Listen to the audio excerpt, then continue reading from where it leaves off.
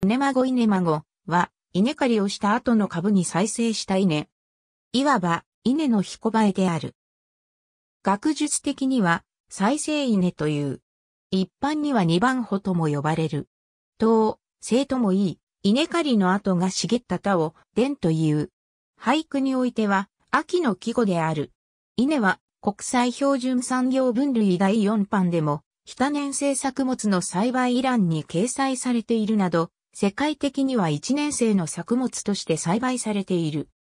しかし、稲は本来は多年生植物としての性格を持ち、特に熱帯地方では繰り返し収穫することも可能である。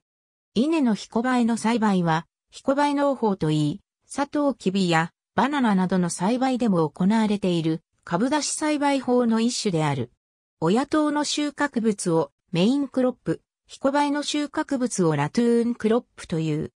従来の彦映え農法は単収が少なく、彦映えは成長速度にばらつきがあり、出水時期や収穫適期がずれるため一度に収穫しようとすると、未熟米や果熟米が多く発生する欠点があった。そのため終了など従来の農法の欠点を改良した熱帯多年生稲栽培法が開発されている。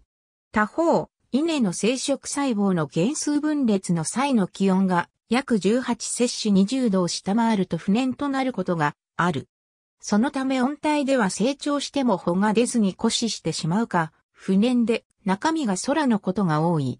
現代の日本においては、稲刈りはせず田にすき込まれ、わずかに家畜に利用されることがあるに過ぎない。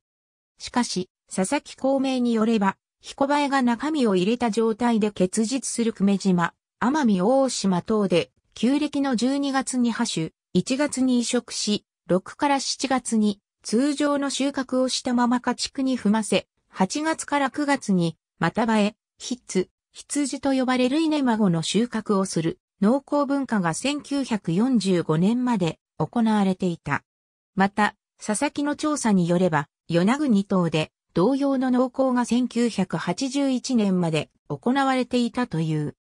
佐々木は日本書紀に現種ヶ島で稲を一度植え、両収するという記事を羊育成栽培の証拠としている。15世紀に沖縄諸島へ漂着した朝鮮人の文献にこのような農耕を行う旨があることから、その当時から行われていたらしい。熱帯、亜熱帯地方では親党の収量の20から50%ほどの収量を得ることができ全作の保管として栽培される。ただし、一般的には収量が低いため、一台限りで、彦梅の栽培は終了し、通常のハ種による栽培に戻される。従来の技術を改良し、ハ種、白柿、田植えをせずに2年で7回収穫して、収量を増やすことができるサラブー農法、熱帯多年生稲栽培法が開発されている。農地で島剥がれ病などの病害虫が全増傾向の場合、ヒコバイにも発病し、ほどく虫増加の要因になるため、収穫後は早めに幸運する必要がある。ありがとうございます。